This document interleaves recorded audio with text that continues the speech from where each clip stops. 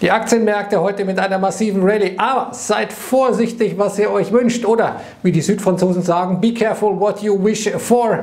Denn seien wir doch mal ehrlich, was war das Beste, was den Aktienmärkten passieren konnte?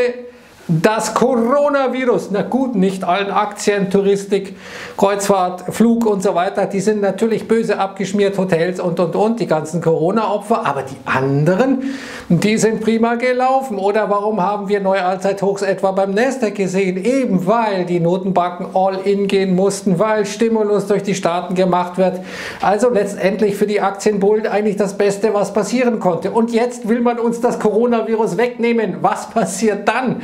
Ja, die Aktien sind nach einem kurzen Crash im März ja massiv gestiegen. Wegen dem Coronavirus könnte man sagen, wenn das Coronavirus jetzt keine Rolle mehr spielen sollte, dann ist es natürlich ein bisschen schlecht bestellt, möglicherweise um die weiteren Hilfen der Notenbanken und auch um den Stimulus. Aber schauen wir uns die ganze Geschichte mal an. Wir haben heute diese Meldung von äh, Pfizer in Kooperation ja, mit der deutschen BioNTech. Endlich spielen wir auch wieder mal eine Rolle.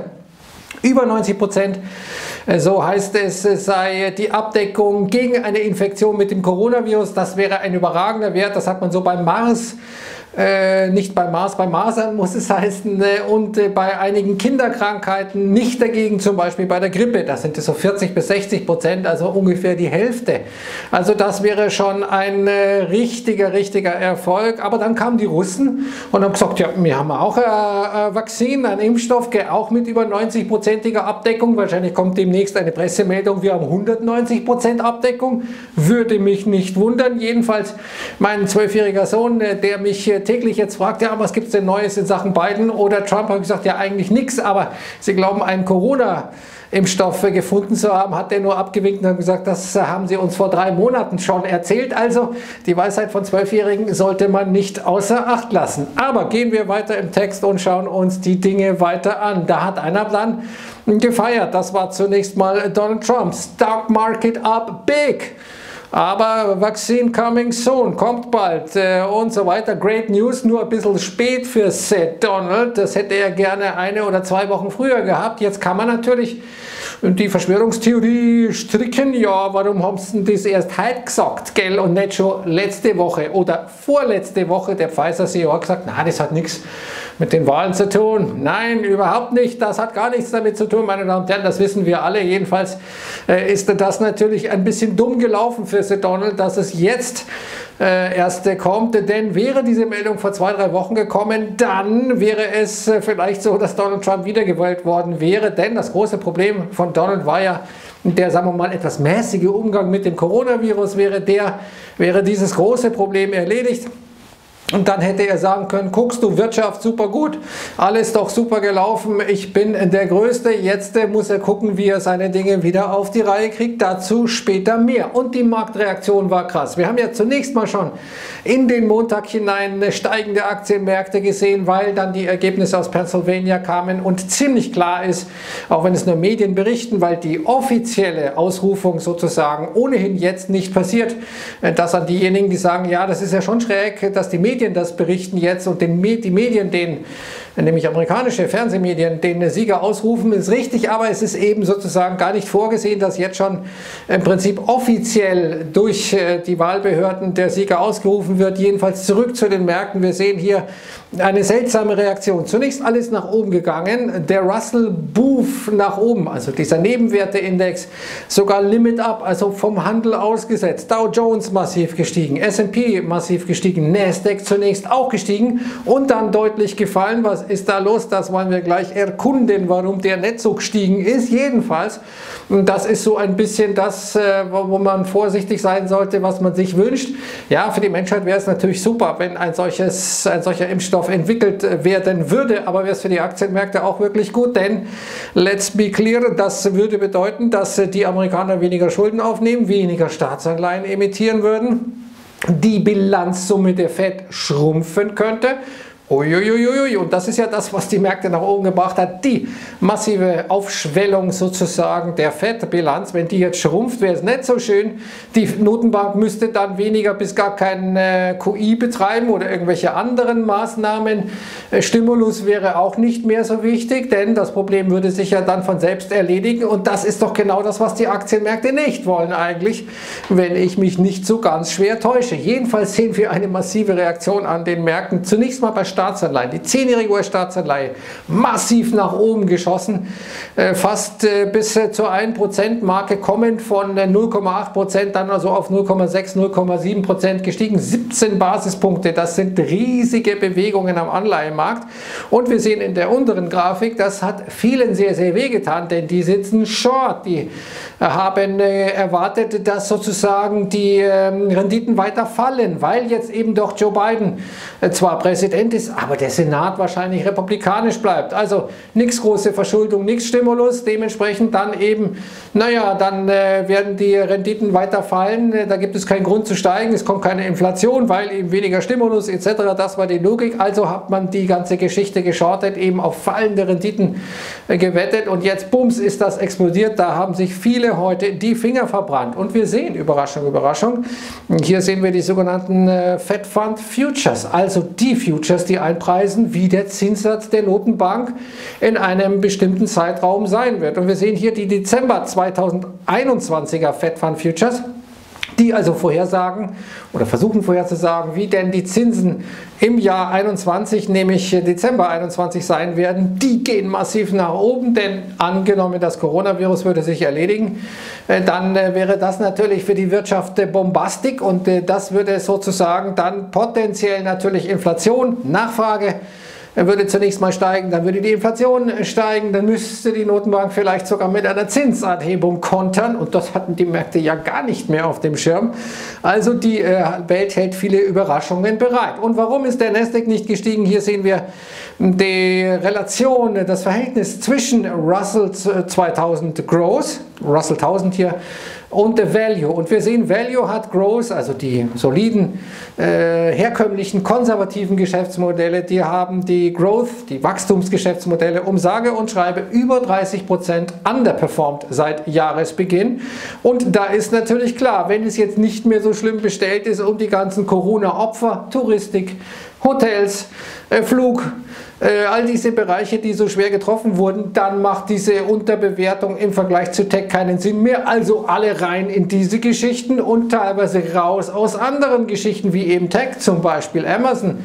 Und das ist natürlich jetzt alles ziemlich äh, abrupt, was wir hier sehen. Da sehen wir, dass zum Beispiel der Spread zwischen dem S&P 500 und dem Nasdaq äh, praktisch mit einem Schlag jetzt so gering geworden ist wie seit über 20 Jahren nicht mehr oder an einem einzelnen Handelstag hat sich diese Differenz so stark verringert wie seit über 20 Jahren nicht mehr oder seit genau 20 Jahren, seit der Dotcom-Blase respektive äh, deren Platzen. Da ist also einiges passiert heute und wir sehen diese gigantischen äh, harten Bewegungen äh, hier in diesem Chart, Violent Rotation, also die gewaltsame Rotation. Es ist ja wirklich auch äh, der Weg des größten Schmerzes, den die Märkte hier wieder gehen. Erinnern wir uns, die Aktienmärkte sind in die Wahl am Dienstag gegangen mit der Einstellung mit der praktisch Einpreisung dessen, dass es eine blaue Welle gibt, dass also die Demokraten alles gewinnen, auch der Senat dann ähm, demokratisch wird. Es ist nicht so gekommen. Da sind zunächst mal in dieser Erwartung die Renditen gestiegen, die Tech-Werte gefallen, ähm, die Value-Aktien gestiegen. Dann kam das Ergebnis. Äh, zwar Biden Präsident war lange nicht klar, aber dann eben äh, Senat doch äh, republikanisch, bums wieder alles raus aus Value, bums wieder alles rein in Growth. Heute jetzt diese Corona-Impfstoffgeschichte, bums wieder alle raus aus Tech, bums wieder alle rein in Value, bums wieder die Anleiherenditen nach oben. Also es ist äh, ein Wahnsinn, was da passiert, der Weg des allergrößten Schmerzes. Und das sehen wir auch am Devisenmarkt. Markt, nicht nur die Anleihemärkte heute mit starken Bewegungen, die Aktienmärkte sowieso, dazu gleich mehr, sondern äh, wie wir in diesem Chart von kapitalista.com sehen, sehen wir auch zunächst mal den Dollar schwächer, Euro-Dollar stieg, alles gegen den Dollar stieg, aber dann hat man sich äh, eines Besseren besonnen, hat sich die Anleiherenditen angeschaut und sieht, oh, jetzt gibt es ja plötzlich wieder Renditen, gibt es ja plötzlich wieder Zinsen für Dollaranlagen, nachdem eben die zehnjährige Anleihe so stark gestiegen ist, die ganze Bandbreite der US-Staatsanleihen so gestiegen ist und booms ging es für den Euro-Dollar wieder nach unten.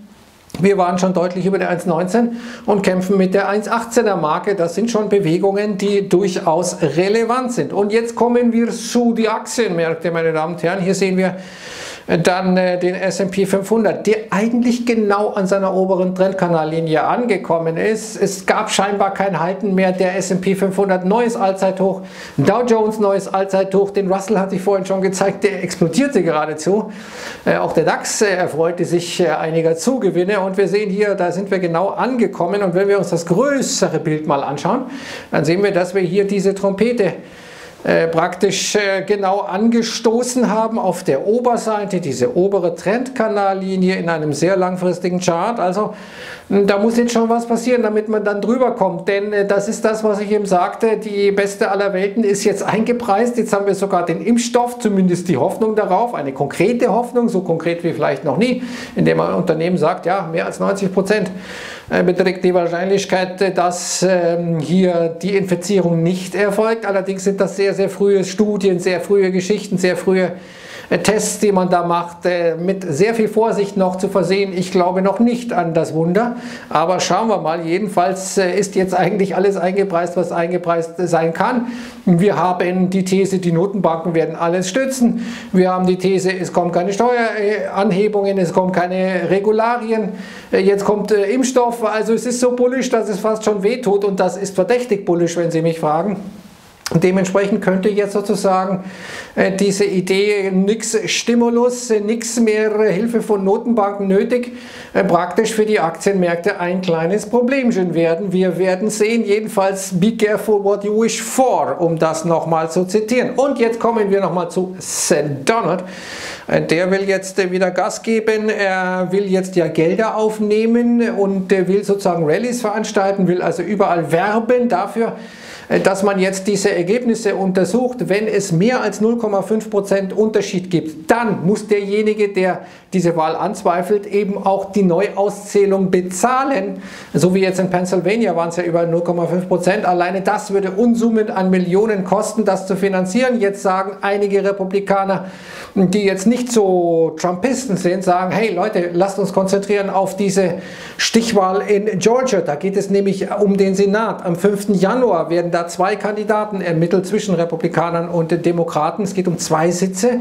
Derzeit die Republikaner ja 50 Sitze, die Demokraten 48. Wenn jetzt zwei Sitze noch gewonnen würden durch die Demokraten, wäre es 50-50, also Pat. Aber dann entscheidet die, der Vizepräsident, respektive eben die Vizepräsidentin von den Demokraten, Kamala Harris. Also ist das für die Republikaner von ganz besonderer Bedeutung. Und äh, hier Insider, die das Axios hier gesteckt haben, sagen ja, Trump interessiert sich nicht für den Senat, da geht es äh, nur um ihn. Er will sozusagen hier diese Wahl anfechten und die Gelder, die man jetzt einsammelt, eben für diese Nachzählungen verwenden, statt jetzt eben die notwendigen äh, Mittel bereitzustellen für diese ganze Geschichte in Georgia, die auch Unsummen an Geld kosten wird für diesen Wahlkampf, den da diese Kandidaten führen werden. Also, das ist eine verzwickte Situation.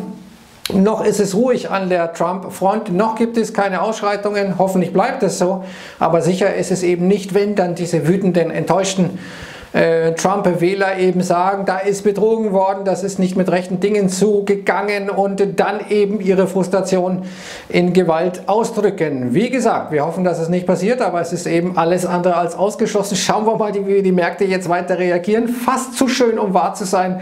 Und äh, be careful what you wish for. Das ist das Motto des heutigen Abends. Ich wünsche jetzt einen wunderbaren Feierabend und sag's Servus und ciao.